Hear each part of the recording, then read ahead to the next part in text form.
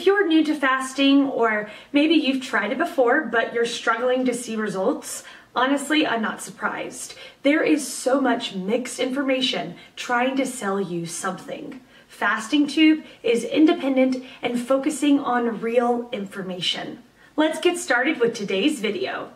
The question, what could be the reasons behind black stool and loose motions after a 48-hour fast? Black stools can be the result of medications like iron supplements or blood from the upper intestine but if you have been eating black foods like licorice, blueberries or Oreos before your fast and did not drink enough fluid to have a movement during your fast they may come out as a liquid stool because there was a hard mass of stool and the contents of your small intestine are oozing around the hard fecal plug.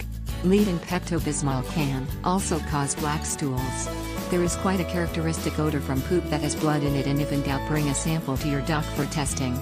You don't want to miss possible signs of an ulcer or other condition which might result in trouble for you like intestinal polyps, inflammatory conditions or cancer.